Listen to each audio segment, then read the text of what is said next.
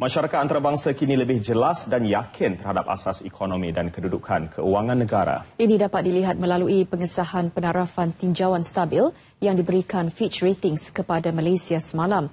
Ketua Penganalisis Ekonomi Alliance Bank, Manukaran Motain menyifatkan status tinjauan stabil oleh agensi penarafan antarabangsa itu sebagai pengiktirafan terhadap dasar pengurusan fiskal negara.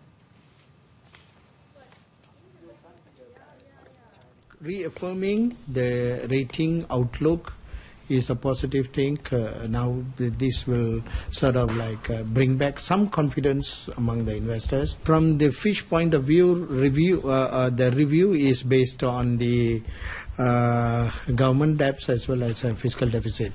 So recently the budget recalibration has uh, reaffirmed or reiterated that you know, uh, the government is uh, going to be uh, serious about, uh, you know, the expenditure, and uh, they are continue uh, with their prudent spending and consolidation going for, forward.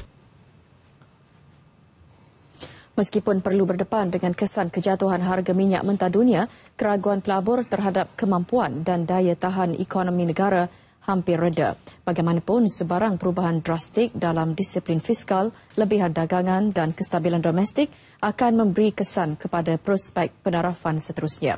Semalam, Fitch Ratings mengesahkan penarafan kemungkaran penerbit IDR mata wang asing dan tempatan jangka panjang Malaysia masing-masing A- dan A dengan unjuran stabil.